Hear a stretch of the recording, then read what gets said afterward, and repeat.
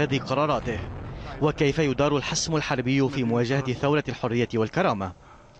جملة أسئلة تجد أجوبتها. في وثائق حصلت عليها الجزيرة.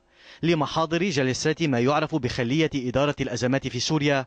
وتم تسريبها من قبل عبد المجيد بركات مدير مكتب المعلومات والبيانات في الخلية والمنشق حديثا عن النظام.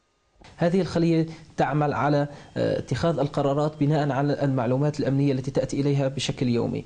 وبعد أن تقوم بالاجتماع بشكل يومي في الساعة السابعة في القيادة القطرية ترفع هذه القرارات إلى رئاسة الجمهورية ليتم الموافقة عليها. تضم الخلية التي تأسست غداة انطلاق الثورة رجال الأسد الأوفياء أي الحلقة الأمنية المؤلفة من قادة العسكر والاستخبارات وهم باختصار جنرالات سوريا الأكثر مهابة ودموية.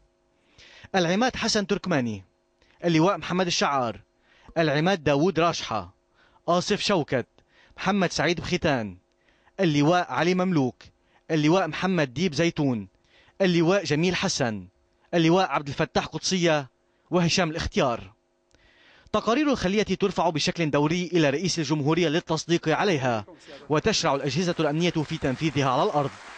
لكن اجتماعات خلية إدارة الأزمات تشهد مرارا خلافات تبقى مكتومة بين قادة مخابرات الأسد. القادة الأمنيين الموجودون في الخلية هم جميعا على خلاف مع بعضهم فهم رؤساء لفروع أمنية تتنافس في السيطرة على الواقع في سوريا وتتنافس في السيطرة على الأرض في سوريا. فعندما يتم تنفيذ خطة معينة من فرع معين لا يتم إطلاع على الفرع الآخر وبالتالي تتشابك الخطط الأمنية وقد يعني يصل إلى مرحلة التضارب في الإجراءات الأمنية المتخذة. تظهر محاضر الاجتماعات توثيقا يوميا لكافة الأحداث التي شهدتها سوريا منذ انطلاق الثورة. وتحرص الوثائق على تقديم أرقام متواضعة لأعداد المتظاهرين. على سبيل المثال تظهر هذه الوثائق مشاركة نحو 112 ألفا بين نهاية سبتمبر ومنتصف أكتوبر ونحو 109 ألاف بين الثاني والعشرين والثامن والعشرين من شهر أكتوبر ونحو 117 ألفا بين نهاية أكتوبر والخامس من نوفمبر.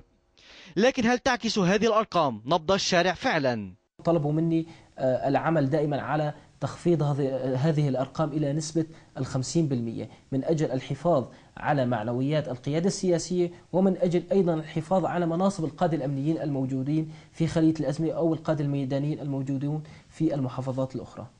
كما تبين الوثائق كيف راقب رجال المخابرات المراقبين العرب في أدق تحركاتهم.